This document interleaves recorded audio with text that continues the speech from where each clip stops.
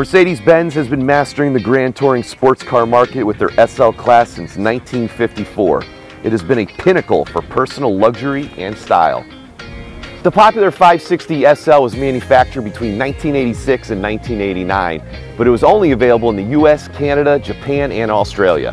Hi, I'm Don Laviano at Black Horse Garage in Bridgeport, Connecticut, and I am very excited to show you this Mercedes-Benz 560 SL.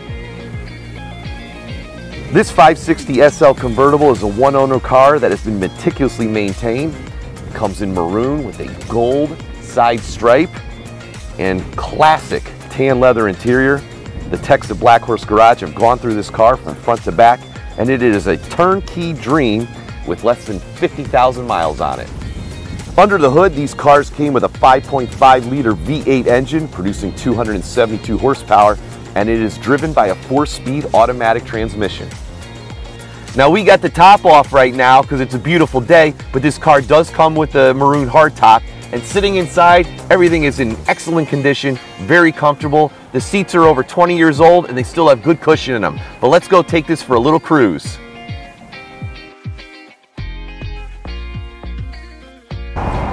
You know what's really nice about these Mercedes is no matter how old they are, they are just good, smooth, consistent driving cars. And if you want to get into the car collecting hobby, this is a great place to start. The price point is perfect and you're getting a reliable two-seater sports car. What, more can you ask for?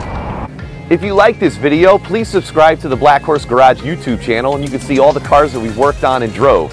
If you'd like to make an appointment to see this Mercedes-Benz 560 SL in person, please send us an email at sales at blackhorsegarage.com or you can call or text 203 947 5293.